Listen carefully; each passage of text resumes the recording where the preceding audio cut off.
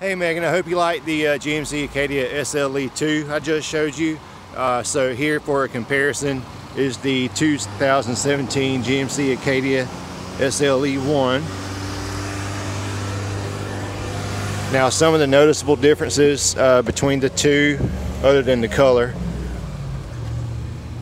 You got manual adjustable seating. The manual lift gate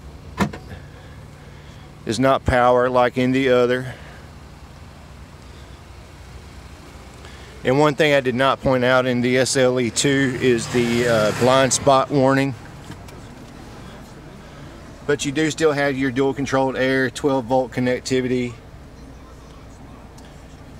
No dual driving modes. But you still have your voice recognition commands as well. Sirius XM capability, OnStar capability.